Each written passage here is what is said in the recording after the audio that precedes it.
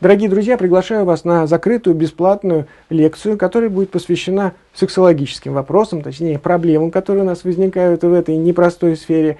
Многие думают, что дело в физиологии, но часто это как раз психологическая проблема. Как быть счастливыми в своей интимной жизни, об этом поговорим 9 февраля. Регистрируйтесь по ссылке и на нашем закрытом прямом эфире даже зададите мне свои вопросы. До встречи!